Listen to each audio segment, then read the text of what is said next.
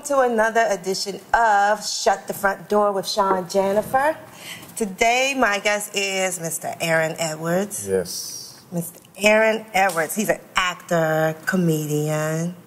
What else do you do? Do you write and direct as well? I write, yeah, direct, um, looking to produce. Nice. Yeah, the whole nine. Nice, You gotta do it all nowadays. Yeah, you do. They ain't playing. You do.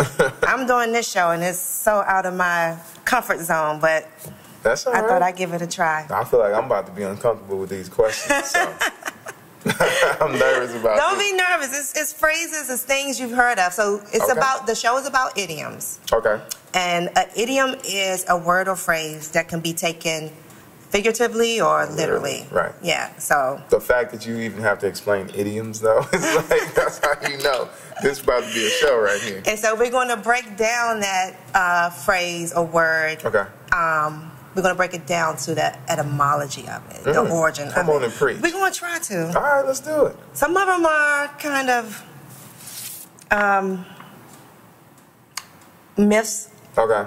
They may not be accurate, but it's a possibility that it's true, and that's the origin or how it started. So we'll do just it. see. We will see. All right. Okay. So, do you box?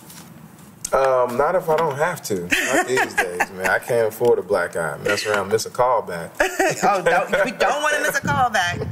Not at all. Not at all. So, I asked you if you box because Uh-huh. I'm sure you've heard the term "Saved by the Bell." Of course, yeah. So tell me what does Saved by the Bell mean to you? Was a show from the 90s. Ah! Good If one. I wake up in the morning, mm, mm, mm. Good one. no, but Saved by the Bell means that uh, you used to like much- Lisa, didn't you, on Saved by the Bell? Um, What's her name, Lisa? I Lisa, but she like screeched, so I was like, she lame. So then That's the black girl, right? that is the black girl, but I was like, who who would? But you know what, Jesse, after like. I became like when I became an adult, I was like, Jesse is kind of fun. She, Jesse's she started playing all these roles that I was like, is that Jesse from Saved by the Hold Bell? on. She was showgirl, right? Yeah, she did. She did some Ah, roles. Jesse. okay. Yeah. Okay. Yeah. Okay. so back to the actual phrase Saved by the Bell and not the TV show. Mm-hmm. The phrase saved by the bell Yeah. is when a boxer has you in the corner, working you out, and then the bell rings, and you got saved by the bell because you would have got knocked out otherwise. right.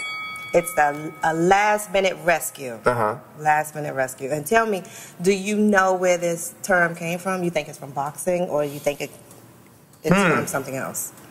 It's probably from something else. And if I had to say something, it would be I don't know. You was about to get a whooping, and then somebody called your mom and The phone rang just in time? by the bell. Okay, so back in the day, uh huh. How far back? 19th century, Okay. good question. good question. So, in the 19th century, some people were buried Mm-hmm. and they were still alive Mm. because they could have been in a coma, Oh. had a bad seizure. Right. Who knows? They were like in a death like state. Right. So, they started making coffins Mm, with, with a bell. bells attached. Oh my gosh. but who's sitting out there waiting? Like, The groundskeeper, they- the did they call? groundskeeper, you know, when they cleaning the grounds at night or whatever, cutting the grass Right. or digging up uh, holes to put in another coffin, they may hear the bell ring. but them were small towns back then. So if the groundskeeper didn't like you, Oh, you're going to stay in the ground. yeah, you, You're not coming out. you are not coming out. that's interesting. Wow. yeah, and it's, I don't know if that's true, but that's the research that I found. It sounds like it could be. It sounds like it. yeah, and it's also another term, um, dead ringer as well, but that's for another show. Okay. That's for another show. And since you are an actor, Uh huh. the next three idioms I think will be appropriate for you. You think so? Okay. Oh, yeah, yeah, yeah, for sure. All right. So, break a leg. Do well. Do well. Okay. Do Mm-hmm. Which I don't like because I'm a former athlete. So when people like break a leg, I'm like, that's not Where did you play? basketball. Basketball. What position? Point guard. Mm, nice. Yeah, nice, nice. small. So Is LeBron the greatest? Ever? Ever. No. Who's the greatest? Michael Jordan. Michael Jeffrey Jordan. On the court. Off the court, no. Mike, is one of the worst individuals in the world. Rumor has it, but anyway. Do you don't think LeBron is the greatest? No. See, basketball is 90% mental. Michael Jordan's a mental giant. And his footwork allowed him to do things that other players couldn't do. Okay. Only player to ever have better footwork than Mike was Kobe. LeBron or Kobe? Um, I'm taking Kobe. I think LeBron is in- incredible, though. LeBron's the best. Let me tell you this: LeBron is the best athlete any sport has ever seen in terms of just straight raw talent. He's the most talented dude ever, Okay. hands down. That must be what I see. Yeah. I don't know. I'm not a sports person. Mhm. Hands down, he is. Okay. And I love how what he does off the court. I think he's Oh, yeah, he's more a than good guy. Good Yeah. dude. Yeah, yeah, yeah. I love his his family. Yeah. I, you know what I love? What? when they won at Cleveland and I was watching the celebration, Mm-hmm. he literally like his kids was acting up on the float, and his wife Savannah got at them, Okay. As she should. and I was like, "That's how." He, that mean he let her get down, like he let her take care of what she needed to take care of, Right. And it just, I was like, "That's a family." and they're not spoiled, bratty No, children because they get put in check. That's check. a real family. Exactly. I was like, "That's all right, Brian." Come on, Savannah. Good. good. Black love. Yeah. All right. So, break a leg. What did you say? Break a leg means do well. Okay. Yeah, wishing someone good luck, Mm-hmm. typically used in theater by actors or musicians before Mm-hmm. going on stage. So, where do you think this this uh, idiom? What, what do you think the origin is? Probably sometime in slavery, Oh. when the master made Mm. the slave dance. He would be like, "Go out there and break a leg," but he meant it. Aaron! oh my God! No! What is it?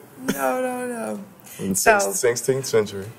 16th century. Actually, I, I, it may be Shakespearean time. I'm not sure, but it's it's superstition, of Okay. course. It is. Um, it's, it's you wishing someone good luck. It's just the opposite. It was common for people back then to believe in ghosts and spirits, mm-hmm. and the ghosts and spirits would be in the theaters or whatever. Mm-hmm. And so, if they heard you ask for something good, they'll try to make the opposite happen. So Haters. exactly, mm-hmm. and so the other actors or cast and crew would say break a leg instead of good luck Okay. or do well because the spirits would try to you know Wouldn't do nothing with that. That's exactly interesting. they try to outsmart the spirits Very superstitious. by making something good happen. That's extremely superstitious. Which brings us to our next one. Okay. that is also based on a superstition. Knock on wood. Okay, so that's saying Have you ever used that term, knock on wood? no, but I see You've people never do it used all. it? No, I don't believe in that. But I've seen people do it all the time, and it's funny every time I see it. Why? As if wood is gonna help you not do whatever Whatever it it is, is. that you trying to do.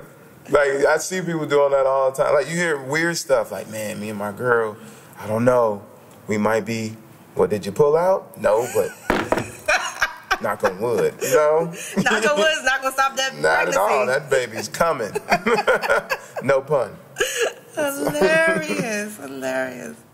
Okay, so yeah, that's what it is. That's pretty much the meaning. Okay. To touch wood or knock on wood is superstition. It's a superstitious act Mm-hmm.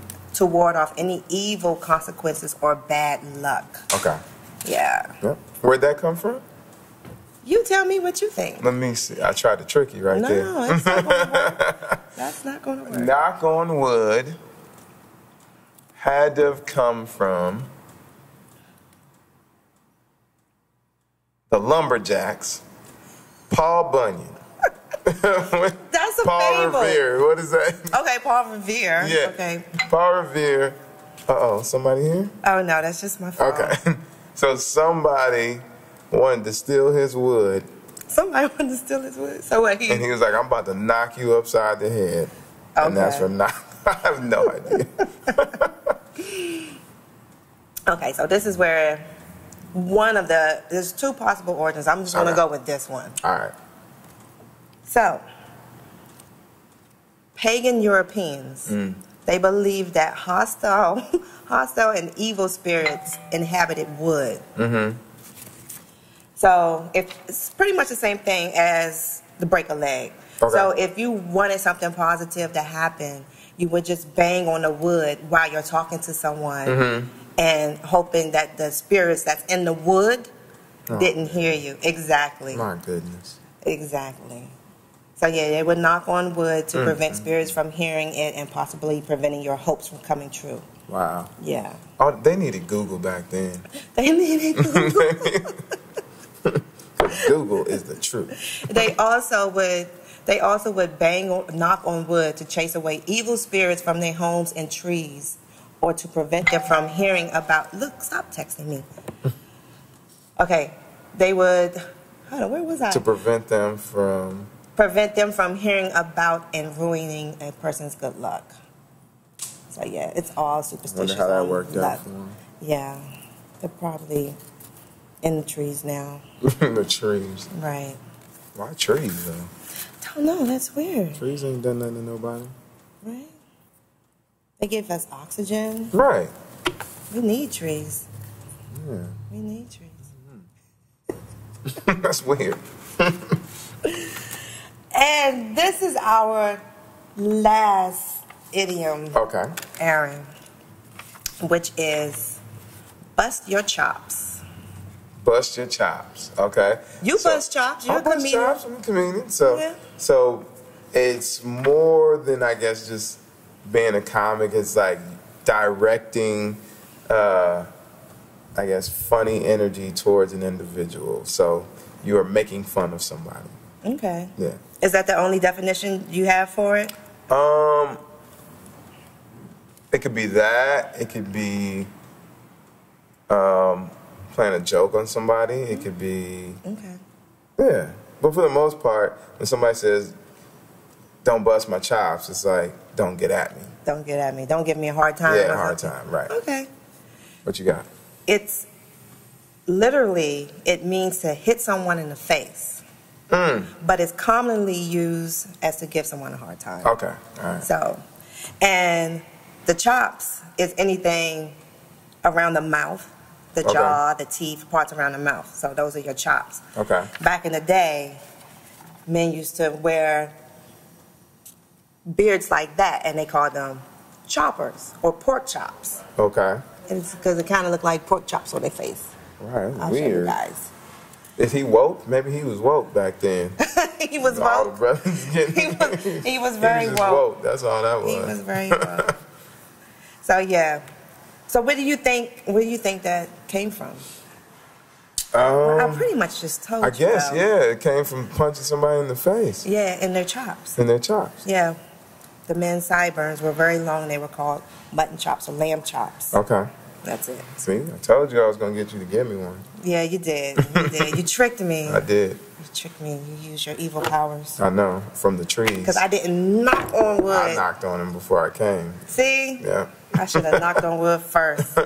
I should have knocked on wood first. So, you proposed to your wife on stage? I did. Yeah. you did. I did. How romantic. Well, it was the fir- it was um, a year prior to that.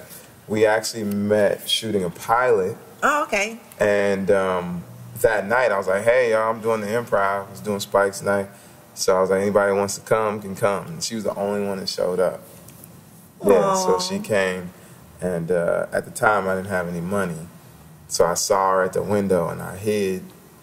Are you serious? I did because I was like, if she don't have the money to get in, then she just can't see me because they haven't given me my So you wasn't you wasn't interested in dating her then?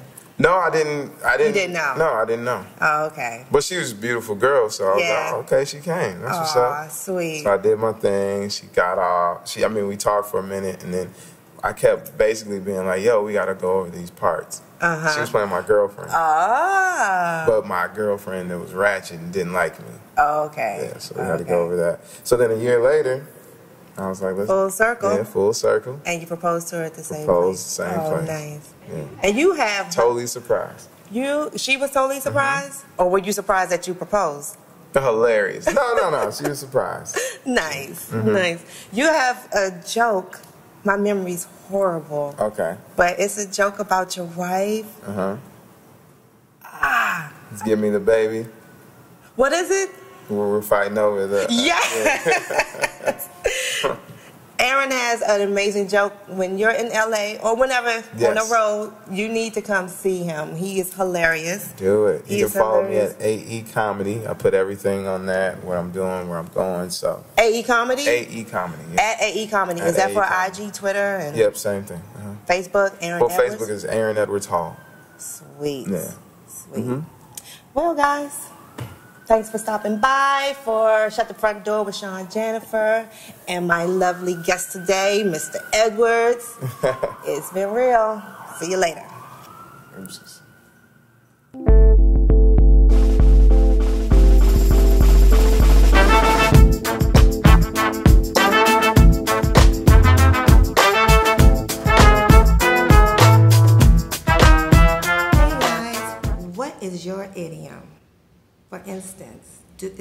Phrase or term that you use a lot and you know the actual origin of it? Like, for instance, it's raining cats and dogs, or to take a shot. Did you know that the term to take a shot came from Western times? Uh, a cowboy would go into a saloon, and if he didn't have money to give the barkeep to pay for his drink, he would in turn give the barkeep one bullet. And what is one bullet? It represents one shot. In exchange, he will get a small amount of liquor. So, what's your idiom? Talk to me. Inbox me right here or, you know, post it down there. Inbox me or post it. Thank you.